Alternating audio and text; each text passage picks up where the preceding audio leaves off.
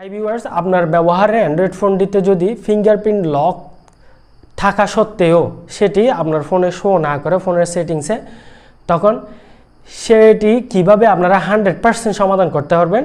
আজকের ভিডিওতে আমি দেখিয়ে দেবো। আমি দেখাচ্ছি সেটিংসে ঢুকলে অ্যান্ড্রয়েড ফোনের এখানে যখন আমরা পাসওয়ার্ড অ্যান্ড সিকিউরিটিতে ঢুকি, এখানে দেখতে পাচ্ছেন এই স্ক্রিনে অন্যান্য লকের পাশাপাশি পাসওয়ার্ড ফেস লকের পাশাপাশি ফিঙ্গারপ্রিন্ট লকটাও শো করতেছে।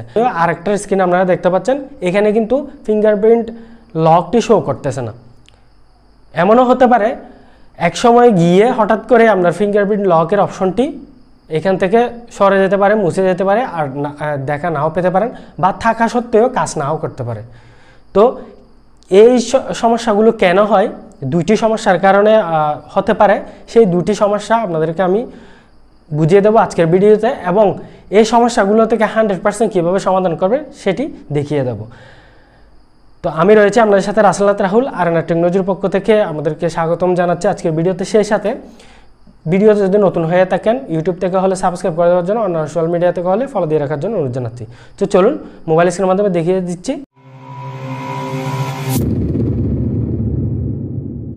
এখানে কিন্তু ফিঙ্গারপ্রিন্ট লকের বা ফিঙ্গারপ্রিন্টের যে সেন্সর সেটা রয়েছে, থাকা সত্ত্বেও এটিতে কিন্তু কাজ করতেছে না।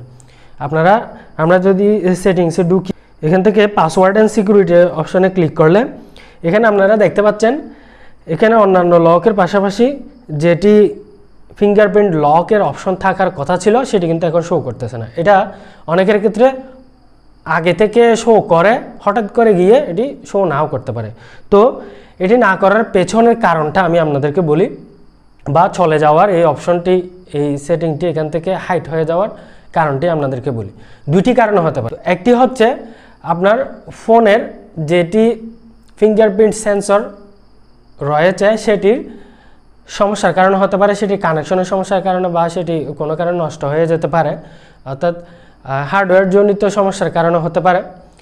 এবং আরেকটি হচ্ছে আপনার ফোনের যে সিস্টেমের সমস্যা থাকলে এটি দেখা দিতে পারে।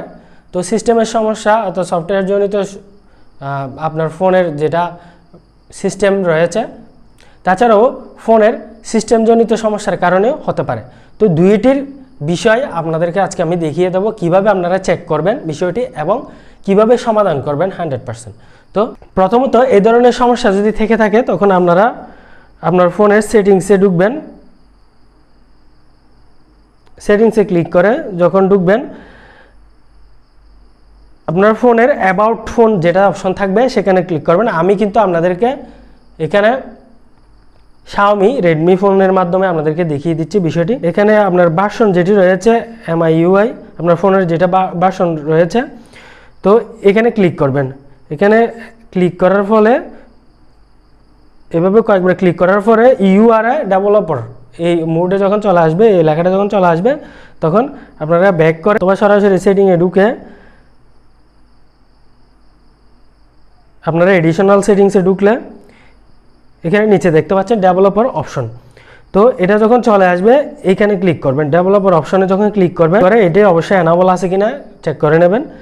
চলে যাবেন ফোনের যেটা অ্যাবাউট সেকশন রয়েছে অ্যাবাউট ফোন ওখানে ক্লিক করবেন। এখানে ক্লিক করার পরে আপনারা এখানে অল স্পেসিফিকেশন বা অল স্পেস এভাবে যেটা অপশন থাকবে, এখানে ক্লিক করবেন। এখানে ক্লিক করলে এখানে একটা অপশন পেয়ে যাবেন। এখানে একটা বিষয় পেয়ে যাবেন, এটা হচ্ছে কার্নেল ভার্সন এই যে কার্নেল ভার্সন এটার উপরে আপনারা ক্লিক করবেন।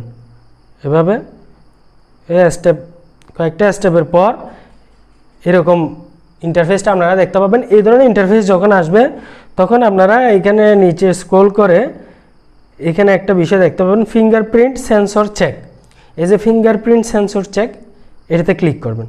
এটার মাধ্যমে আমরা হার্ডওয়্যারটা ঠিক আছে কিনা দেখব। এখন দেখতে পাচ্ছেন, এখানে ফিঙ্গারপ্রিন্ট সেন্সর চেক পাস লেখা উঠছে। মানে আমার যেটা সেন্সর রয়েছে, এটা ঠিক আছে ওকে আছে। এটা হার্ডওয়্যারের কোনো প্রবলেম নাই। প্রথমত এটা দেখবেন। তো আমি আরেকটা স্ক্রিনে আপনাদেরকে দেখাচ্ছি ফোনের এখানে দেখতে পাচ্ছেন, এখানে যখন আমরা ক্লিক করতেছি, তখন এটা কিন্তু ফেল উঠছে। এখানে এরোর ওকে ওকেটা ডিজেবল হয়ে থাকে এবং এখানে ক্লিক করার পরে পরে গিয়ে ঢুকলে এখানে দেখতে পাচ্ছেন ফেল উঠতেছে। তো এই ধরনের পাস উঠলে আপনার হার্ডওয়্যারের কোনো প্রবলেম নেই। আর ফেল উঠলে ধরে নেবেন যে আপনার যেটা সেন্সর রয়েছে আপনার ফিঙ্গারপ্রিন্টের ওই ডিভাইসের মধ্যে কানেকশনের সমস্যা হার্ডওয়্যারের সমস্যার কারণে এটা চলে গেছে। তো এখন আপনার মনে প্রশ্ন আসতে পারে, সমস্যা থাকতে পারে। তাহলে সমস্যা থাকলে অনেকের ক্ষেত্রে দেখা যায় যে এখান থেকে অপশনটাই চলে যায়। যে ফিঙ্গারপ্রিন্ট লক যেটা অপশন ইন্টারফেস দেখা যায় সেটি সেটি এখানে চলে যাবে। অনেকের ক্ষেত্রে চলে যায়, অনেকের ক্ষেত্রে চলে যায় না, থাকলেও কাজ করে না। তো কখন চলে যায়? যদি এই ধরনের হার্ডওয়্যার প্রবলেমটা হয়, হওয়ার পরে গিয়ে যদি আপনি আপনার ফোনটা কোনো কারণে রিসেট করেন, তাহলে কিন্তু রিসেট হওয়ার পরে সেটা আর শো করবে না।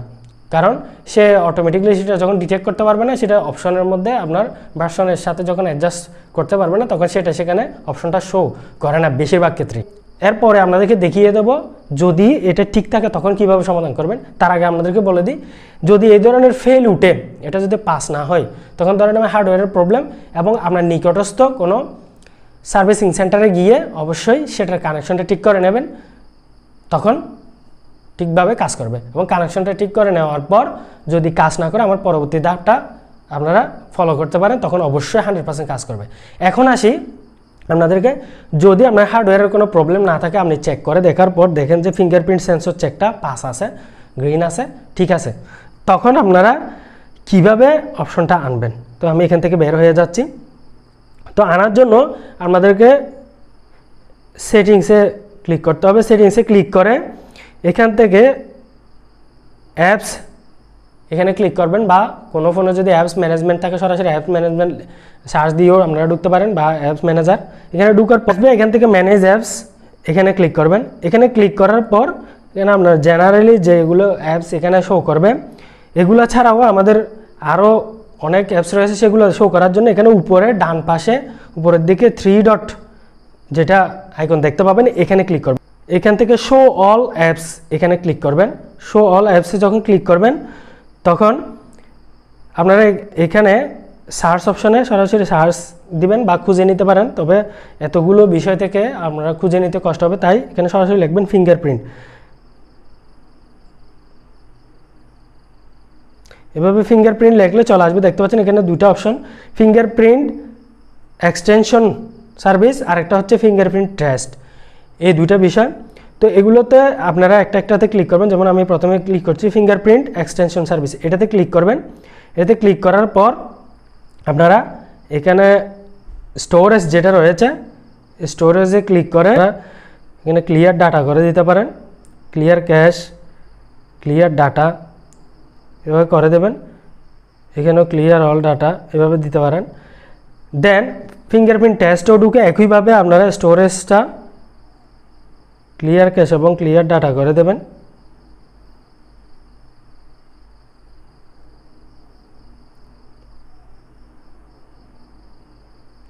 এভাবে করে দেওয়ার পর আপনারা আবার পুনরায় ফোনটিকে এখান থেকে বের হয়ে ফোনটিকে বন্ধ করে আবার অন করবেন।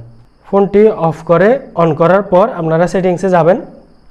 সেটিংসে গিয়ে যখন পাসওয়ার্ড অ্যান্ড সিকিউরিটি দেখবেন, দেখেন এখন ম্যাজিকের মতো বিষয়টি চলে আসে তো আশা করছি বিষয়টি আমি আপনাদেরকে বুঝাতে পেরেছি এবং এই বিষয় নিয়ে যদি আপনাদের কোনো প্রশ্ন থেকে থাকে, অবশ্যই আমাকে কমেন্ট করে জানাবেন।